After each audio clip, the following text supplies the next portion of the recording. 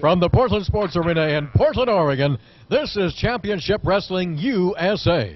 Hello, everybody. I'm Don Coss along with Al Madril. Madril, what a night we've got tonight. The crowd is still filing in here for those two super tag team matches. That's right, super tag team matches. I'll tell you, the Wild Samoans or the Samoan Nightmare, like Yeah. they like to be known, will be here. There's going to be two referees in this match against Bergstrom and Larry Oliver. Ooh, I'll tell you, talking about barn burner, that's the main event anywhere in the world of pro wrestling today.